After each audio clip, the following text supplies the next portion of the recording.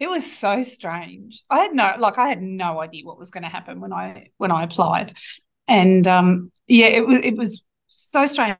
And the nature of the show is that people feel like they know you. So you've been in people's lounge room every night except for Saturday night, and so they feel like they know you. So I had like total strangers come up to me and and kiss me on the face in the shopping center.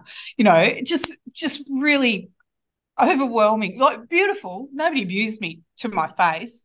Well, the internet's a whole other thing, but um, it, it, was amazing. And my my boys, they were in year five, year six, and year seven when all of that happened, and they just took it in their stride. We'd be walking through the shops, and people had stopped to chat, and you know, my oldest son would say, want a photo? And he'd take a photo and you know people discuss with me what's in my shopping trolley or, or they'll stop me in the aisle of the supermarket to ask for recipe tips. And uh, it, it it was just extraordinary